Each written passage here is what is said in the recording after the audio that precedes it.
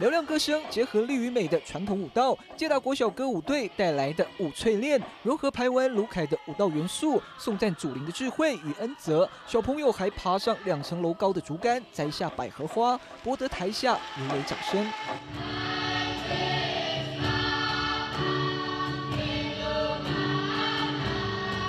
接着，乌鲁国小则是以传统歌谣呈现部落妇女的智慧，过程中加入了八部合音跟报战功，将两个月来的学习成果发挥的淋漓尽致。我们就是练很久啊，就可以在台上唱歌，就觉得很开心了。是可以让我们跟别的部落原住民交流啊，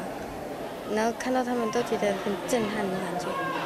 为了丰富偏乡学童的人文涵养，花仙子教育基金会结合东元科技文教基金会，二十号上午在台东艺文中心举办二零一九偏乡青少年艺术赏析活动，邀请县内二十三所小学近千名学生，透过原住民乐舞、交响乐跟戏剧等面向赏析，让艺术教育扎根学童心中。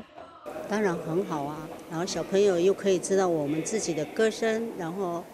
还有文化的情境都在里面。不管在自己的兴趣啦，或者说在工作职业职场上，能够有更多的一些认识跟体认啊，也希望也对大家能有一些帮助。花仙子文教基金会自二零零五年开始，每年前往各县市办理偏乡艺术赏析活动，更携手东元科技文教基金会，以惊叹乐舞为名，赞助许多原乡学校推广传统乐舞，希望展现原住民的活力与精神，也达到艺术教育的目的。原视新闻，资本台东市采访报道。